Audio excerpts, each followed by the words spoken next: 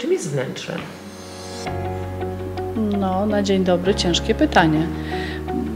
Od 20 lat próbuję to zgłębić i każdy dzień przynosi jakieś tam ciekawe przemyślenia. Jakbyśmy dopra- doprawili przyprawę e, jedynie pieprzem, zapomnieli o soli. Ale Galewska.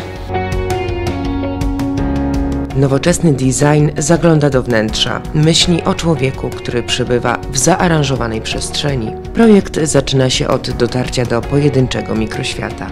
To dewiza Alicji Galewskiej, która od ponad 20 lat prowadzi firmę wnętrza.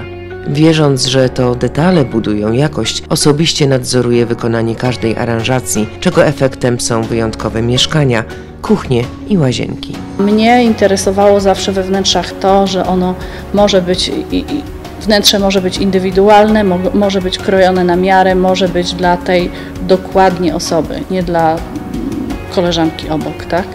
I przez e, całą, cały czas swojej pracy ja się staram e, tą indywidualność podkreślać i poważnie traktuję to, co mówimy, że każde wnętrze jest projektowane od początku i e, tylko raz.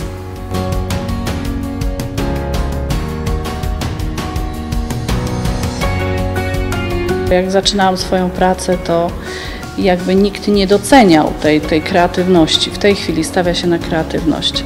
Wnętrze rozwiązujemy za każdym razem inaczej, na nowo i jest nieskończona ilość e, rozwiązań i powtórzeń. I to czyni moją pracę twórczą to raz i ciekawą.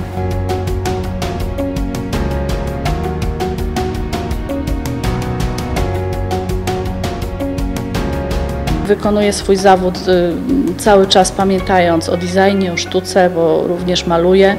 Y, Nie umiem projektować inaczej, nie umiem projektować jakby na niższym poziomie i nawet nie chcę.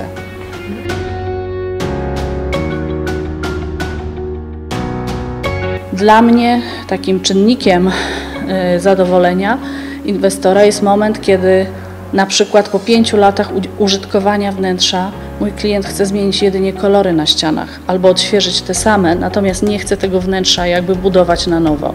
To znaczy, że myśmy usiedli przy projekcie, to znaczy, że pomyśleliśmy razem, bo to jest zawsze praca razem i powstała taka struktura, w której domownik się dobrze czuje. To jest cała tajemnica.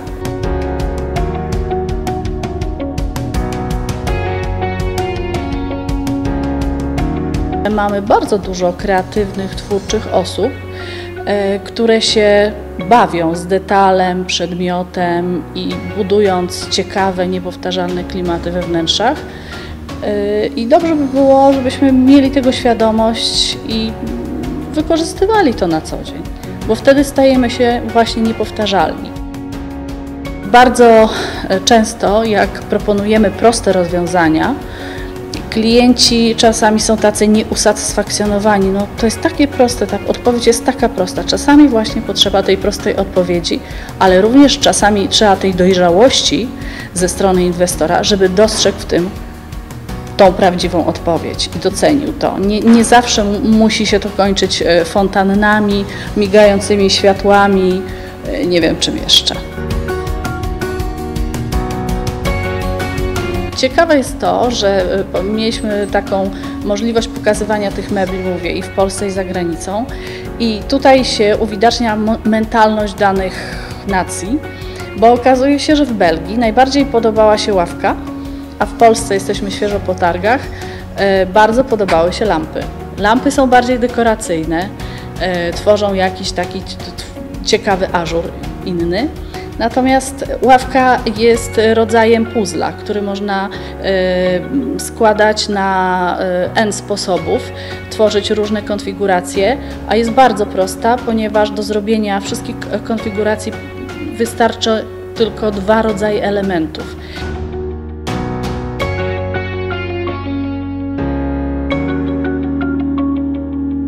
Ludzie z energią, przedmioty z duszą to wystawa, którą koniecznie musicie zobaczyć, dlatego że na tej wystawie pojawią się nieprzeciętni twórcy, nieprzeciętni bełchatowianie. Zapraszam serdecznie.